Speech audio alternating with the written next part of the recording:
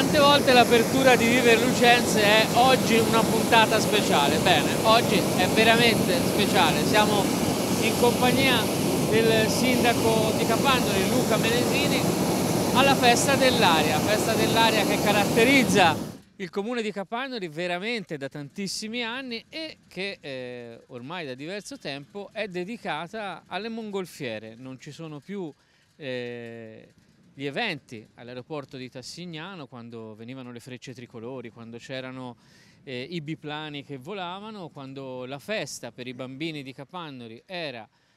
all'aeroporto di Tassignano, oggi la festa si è spostata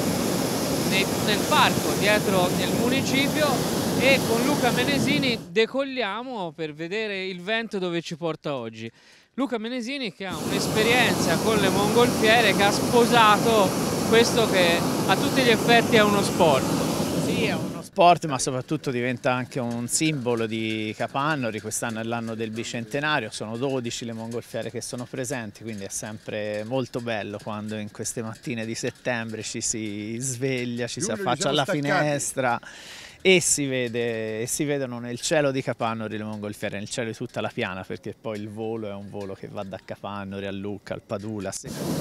A seconda dei venti infatti e quindi oggi per ora stiamo andando direzione Padule. Eh, posti bellissimi per noi, soprattutto la sensazione di volare in silenzio, è la stessa sensazione che, che, si ha quando si parla in qualche maniera di green, quando si parla in qualche maniera di eh, ambiente e contatto con la natura, credo che niente voli con eh, proiezione verso questo tipo di concetto come una mongolfiera.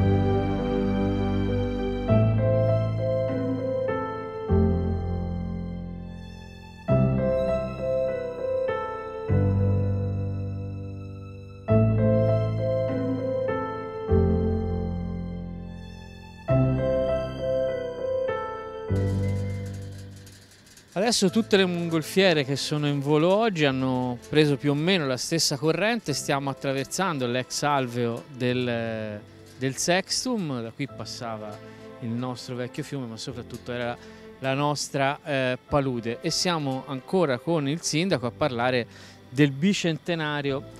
del comune di Capandoli, comune rurale più grande d'Italia per tantissimi anni, adesso la vocazione chiaramente sta cambiando, facciamo parte eh, per, per, tanti ettari anche del, del settore cartario più importante d'Europa, quindi eh, stiamo cambiando ma dentro alla fine siamo sempre gli stessi e il comune di Capandori vuole celebrare questo bicentenario in una maniera del tutto particolare, lo farà puntando sul senso di comunità.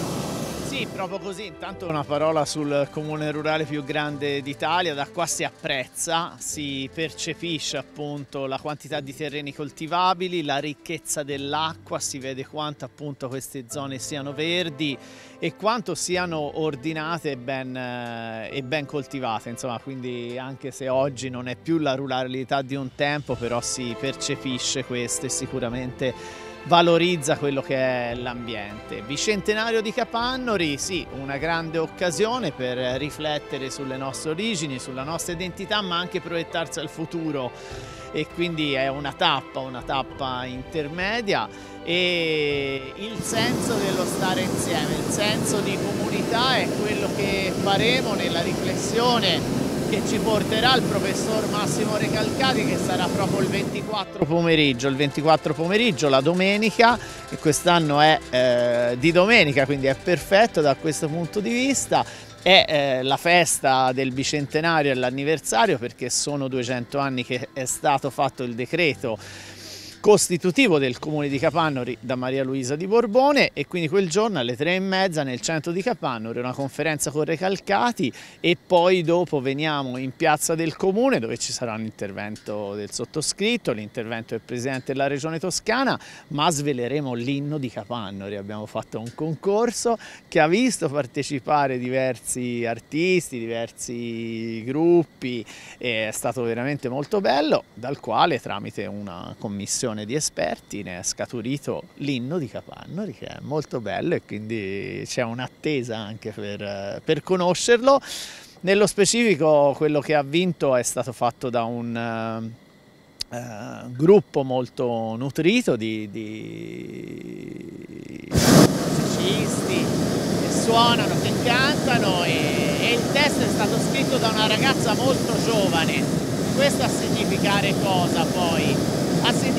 che quelli che sono i valori, quelle che sono le caratteristiche del nostro territorio stanno entrando molto tra la, tra la cittadinanza, quindi un inno che canta anche questi, questi aspetti e che è molto, molto bello. Mi sento qui di ringraziare veramente tutti quelli che hanno partecipato a questo concorso, poi alla fine vince sempre uno, eh, certo. però è stato appunto un bel lavoro di elaborazione, testi molto interessanti e quindi ecco stiamo anche riflettendo su come non disperdere questo lavoro che da tanti è stato, è stato fatto. Abbiamo accennato al tema dei valori, il mese di settembre per Capannori diventa fondamentale anche per le celebrazioni perché avete scelto di cominciare da quest'anno a celebrare la liberazione del comune di Capannori dal 5 di settembre. Stiamo parlando naturalmente della liberazione dal dominio nazifascista, siamo alla fine della seconda guerra mondiale in questo senso avete anche eh, scelto dove celebrare per la prima volta questa, questa ricorrenza che è l'ex Casa del Fashion nel centro di Capandre che oggi fortunatamente è una scuola che accoglie tanti bambini. Sì, proprio così. Eh, intanto va detto che qua si ammira la grandezza di Capannore, la sua estensione. La liberazione di Capannore è cominciata nel Compitese il primo di settembre, è finita a Petrognano San Gennaro tra il 9 e il 10 di settembre. Ma il 5 settembre è il giorno clou, il giorno nel quale viene eh, dichiarata completamente libera Capannori, tutta la zona del comune, la zona centrale del comune, allo stesso tempo viene nominato il primo sindaco il primo sindaco di Capannori dopo vent'anni appunto di, dopo il ventennio come si dice, quindi il primo sindaco espressione di forze democratiche e quindi abbiamo voluto celebrare questo momento con uh, una lapide una lapide che resta a perenne, a perenne, memoria di questi fatti, di questi eventi, di chi ha caratterizzato, il primo sindaco è stato Giulio Mandoli e quindi anche di chi alla fine si è impegnato, si è impegnato durante la resistenza e ha permesso e ha contribuito e permesso la liberazione del nostro, del nostro comune. Quindi è un ricordo anche dei vivi di chi ha scritto quella storia ma anche di chi ha scritto quella storia perdendo la propria vita e questo è un lavoro molto lungo che è stato fatto nel tempo via della memoria dove abbiamo tracciato tutto il, il territorio comunale con eh, i diversi luoghi dove sono stati eh, commessi i reati, dove sono avvenute uccisioni, dove sono avvenuti fatti importanti. Tra l'altro il 1943 è 80 anni fa, ieri era l'anniversario dell'8 settembre del 43 e domani 10 settembre è l'anniversario della chiusura del campo di concentramento di Castelvecchio di Compito, ma più che la chiusura appunto de, della, della, strage che vide i militari tedeschi uccidere i, eh, i soldati italiani che erano a sorveglianza di quel campo di concentramento e che proteggendo I, eh, I, prigionieri appunto chiamarono i tedeschi dentro la baracca, li intrattennero e nel frattempo tutti i prigionieri scapparono e a quel punto i tedeschi non fecero altro che uccidere appunto chi era a sorveglianza di quel campo e chi appunto secondo loro si era comportato male. Quindi è un ricordo anche di queste persone, un ricordo non fine a se stesso ma appunto per ricordarci quello che è stato quel periodo e allo stesso tempo anche quali valori e quali principi principi sono scaturiti da quel periodo che quindi ci sono consegnati da, da, dalle precedenti generazioni, da quei sacrifici e quindi una logica anche di, di, di manutenzione della democrazia, il valore della democrazia e ovviamente un valore che è dato a noi per, eh, perché appunto questi principi e questi valori siano portati avanti. Credo che possiamo chiudere parlando del fatto che siamo a un punto di vista privilegiato per capire veramente l'estensione del territorio di Capannori. Si va dalle antenne del Monte Serra con eh, tutto il Compitese, Ruota, tutte le frazioni che insistono sui Monti Pisani, poi il territorio scende e va a stringersi verso Tassignano e verso la frazione di Capannori, poi si riallarga, abbiamo Marlia e abbiamo dall'altra parte le Pizzorne con tutti i paesi, Valgiano, Sant'Andrea, Caprile, non li nomino tutti, ma con tutte le altre frazioni dall'altro lato. Quant'è difficile far diventare omogeneo un territorio che poi alla fine omogeneo non è e dove dovete comunque intervenire ogni giorno, in ogni posto con la sua prerogativa di necessità. Beh, è molto complesso, noi si dice che Capanno è una comunità diffusa, infatti è, è, è così, sono 40, 40, frazioni, sono 40 paesi, ognuno con le proprie caratteristiche, si va dai mille metri delle Pizzorne del Serra fino ad arrivare alla zona pianeggiante, quindi anche quando ci sono dei fenomeni eh, abbastanza estremi passiamo da frane a zone alluvionate. È complesso però anche molto, molto bello e ha ovviamente caratteristiche che sono caratteristiche comuni, sia in quello che è il modo di vivere, la solidarietà, l'attenzione, l'intraprendenza dei cittadini, sia anche su quelli che sono i prodotti anche della terra stessa, insomma siamo nelle colline che fanno un eccellente vino, un ottimo olio e, e tanti altri tipi diciamo, di, di, coltivazione oltre ad avere ormai un settore produttivo, industriale, artigianale di tutto, di tutto rispetto. E da qui ne, perce ne percepiamo anche l'impatto, da qua sopra si vede la grande estensione delle aziende cartarie e non solo, insomma eh, la, la vita della piana di Lucca è ruotata sempre intorno all'acqua e lo è stato per l'agricoltura, addirittura si arrivava ad avere due raccolti l'anno, era una delle poche zone a livello nazionale che aveva due stagioni di raccolta l'anno e allo stesso tempo oggi anche per l'industrializzazione l'acqua dà un contributo importante. Tutto credevo tranne che un atterraggio sulla mongolfiera fosse così morbido, perché oggettivamente siamo, praticamente ci siamo appoggiati su un campo tagliato quando il pilota mi dice di scendere perché sono una discreta zavorra, scendo e raggiungo Abramo in attesa anche di Luca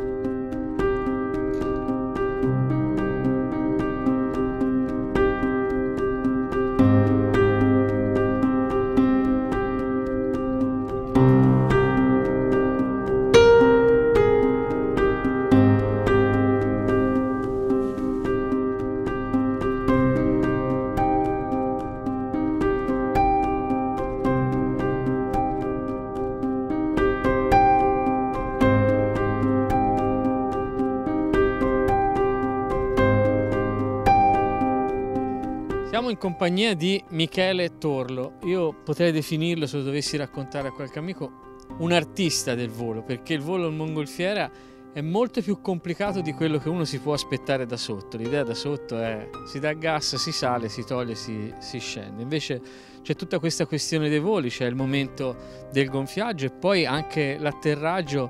che mi diceva Luca Menesini, che è già un esperto in questo senso, è fondamentale farlo in una certa maniera per recuperare il pallone anche più velocemente. Certo, sì, eh, innanzitutto l'atterraggio è anche lì un fattore importante perché bisogna guardarsi un po' intorno perché a volte capitano dei campi che non, non sono accessibili, magari sono licintati, ci sono i cancelli e quindi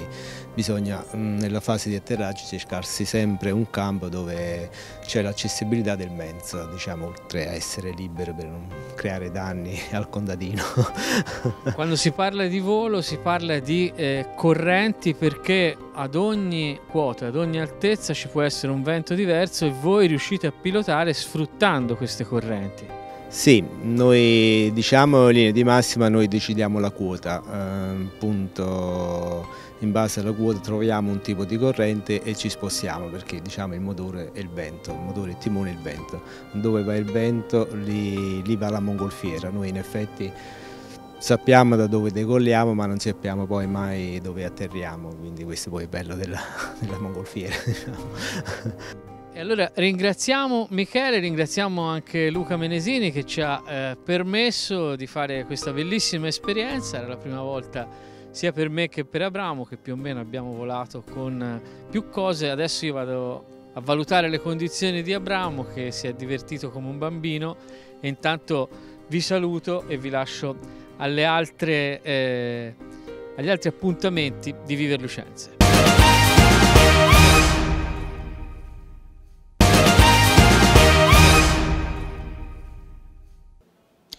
Benvenuti alla seconda parte di Viver Lucense. Abbiamo appena lasciato le molgonfiere di Capandori e ci siamo adesso recati nel centro di Altopascio. Io mi trovo in piazza Ospitalieri a due passi da Sala Peregrinazio dove è stata aperta una mostra importante che sarà eh, visitabile fino al 20 di ottobre. Ma per conoscerla più da vicino andiamo a chiedere informazioni al primo cittadino di Altopascio, Sara D'Ambrosio.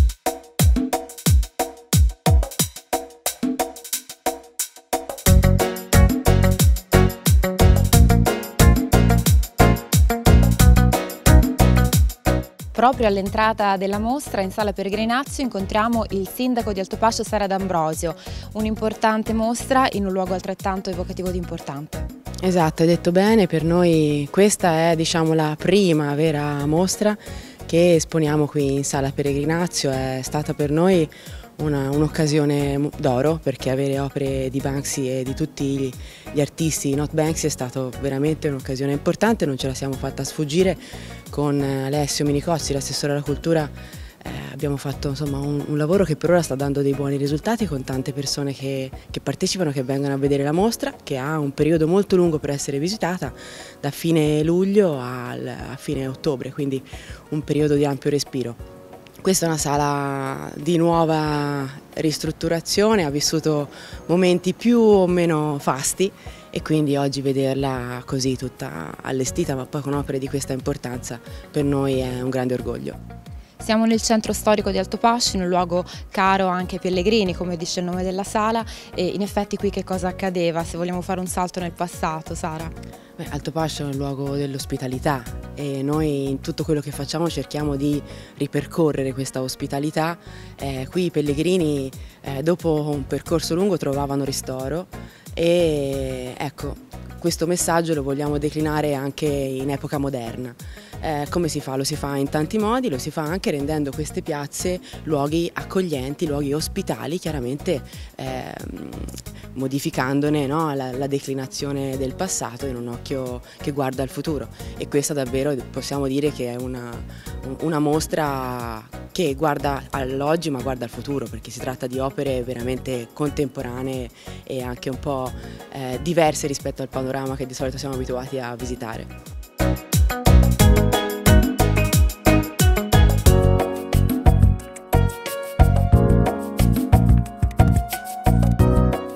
Sto raggiungendo il cuore della mostra in Sala Peregrinazio e qui ad attendermi c'è Alessio Minicozzi che è l'assessore alle politiche culturali del comune di Altopascio. Buongiorno Alessio. Qui dietro di noi c'è un'opera importante che fa capire proprio anche il titolo della mostra. Di che opera si tratta? Si tratta di Napalm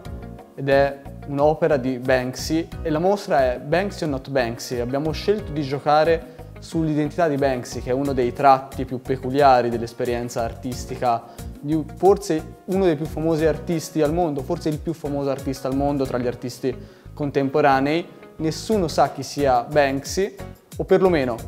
qualcuno in realtà dice di saperlo e tra questi c'è il curatore della mostra che è Bruno Ialuna e insieme a lui e insieme alla cooperativa Mare abbiamo scelto di portare in sala peregrinazio queste opere. Tra le opere l'opera regina è quella appunto che sta alle mie spalle, Napalm. È un'opera potentissima perché racconta di una vicenda che è quella della guerra in Vietnam, della devastazione portata dalla guerra, con una critica anche nei confronti del sistema capitalistico, quindi anche con una dimensione politica molto forte. È questo quello che fa l'arte urbana. Arte urbana che non è un'arte che nasce oggi o che è nata con Banksy. Al contrario, sempre come dice il curatore della mostra, l'arte urbana nasce nelle grotte. Nasce nelle grotte di Lescaut, quindi accompagna l'uomo dall'inizio, ha una funzione pedagogica e questo tratto ci è piaciuto fin dall'inizio ed è uno dei motivi per cui abbiamo scelto di allestire questa mostra in Sala Peregrinazio. Prima hai detto che nella mostra sono presenti eh, sia eh, opere dell'autore sia opere che non riguardano direttamente l'autore ma diciamo differenti, come quella che vediamo adesso. Di che cosa si tratta? Si tratta di omaggio a Topo Fiorentino di Blub ed hai detto bene, ci sono opere che non sono di Banksy ma sono di artisti che hanno ispirato Banksy o che si sono ispirati a lui. Blub l'abbiamo visto in molti contesti, forse non ci si fa troppo caso, però anche a Firenze, così come a Lucca per un periodo, soprattutto sui casottini del, dell'Enel, c'erano rappresentati questi topi, perché il topo, perché il topo viene da, dal mondo underground, quindi viene dal sottoterra, è il reietto, è il simbolo di qualcosa che è rifiutato, così come gli street artist nascono in un contesto che non è quello di una sala museale, ma della strada e quindi del graffitismo, del writing nel contesto delle periferie e delle città del nord Europa, in particolare di Bristol. Perché portarlo allora in una sala chiusa? Perché crediamo lo stesso di rispettare gli artisti, di rispettarne la funzione. Tutte queste opere non sono state sradicate rispetto a dei muri, assolutamente, provengono da collezioni private, ci sono state eh, donate e noi temporaneamente le mostriamo alla cittadinanza in un'altra veste. Le opere in mostra sono davvero tante e tutte da visitare. Noi mm, oggi cogliamo l'occasione di farvene conoscere solamente alcune, come questa che eh, è l'ultima opera che vi presentiamo. Di che cosa si tratta Alessio? Si tratta di Wake Up, è un'opera di Maupal, nome d'arte di Mauro Pallotta, uno degli street artist più famosi al mondo, anche noto come lo street artist del Papa. Quando fece il Super Pop a Roma e eh, fu apprezzata particolarmente dal pontefice. E tra l'altro con Maupal abbiamo sviluppato e stabilito un rapporto particolare e personale perché quest'opera ce l'ha portata lui di persona e da lì è nata una splendida amicizia, uno splendido rapporto che speriamo possa proseguire su Alto Pascio. In quest'opera è rappresentata una critica nei confronti del mondo contemporaneo, in particolare della dimensione tecnologica, perché Wake Up è il richiamo che viene fatto nei confronti del gatto che non sa più quale topo, quale mouse sia reale e quale finto, tra il mouse del computer e il mouse, il topo, quindi il topolino fisico. Quindi di nuovo il topo che ritorna e qui viene portato in una nuova dimensione, in una critica nei confronti dell'uomo moderno. Con questa opera e con le molte altre che vi aspettano qui in Sala Peregrinazio, eh, vicino eh, al centro del comune di Altopascio, proprio in piazza Ospitalieri, eh, noi ringraziamo nuovamente Alessio Minicozzi, eh, l'assessorato alla cultura di Altopascio, ma anche Sara D'Ambrosio che ha aperto questa parte della puntata di Viver Lucenze che è iniziata stamattina volteggiando per i cieli di Capandori, eh, ma poi Giulio del Fiorentino con Abramo Rossi e il sindaco Luca Menesini, il sindaco di Capandori, sono atterrati proprio dal Pascio, non potevamo quindi che concludere proprio qui, nel cuore della splendida città medievale. E noi vi diamo appuntamento alla prossima settimana con un'altra puntata di Viver Lucenze.